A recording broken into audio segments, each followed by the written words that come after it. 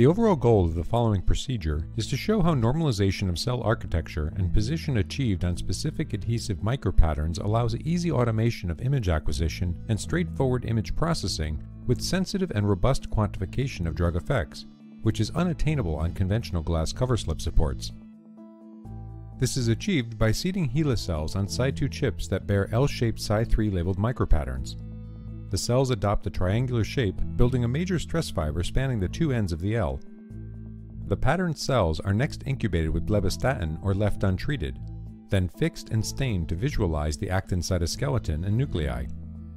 Images of the micropatterned cells are then acquired and processed using the CellRef macro to generate a stack of images for analysis, and the hypotenuse macro to quantify phenotypes. Ultimately, results can be obtained that show a significant effect of low doses of blebbistatin on micropatterned HeLa cells, which is undetectable in standard cell culture conditions.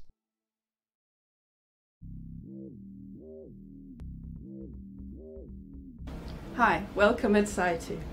We're here today to walk you through our experimental protocol, explaining how to use adhesive micropatterns for cell analysis, as well as showing you experimental data illustrating the uh, easy quantification of very low doses of drugs on these adhesive micropatterns.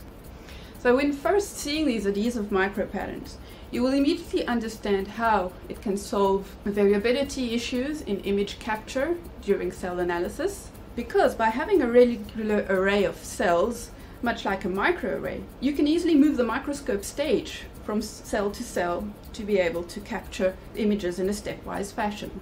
But that, of course, is not the only advantage of micropatterns.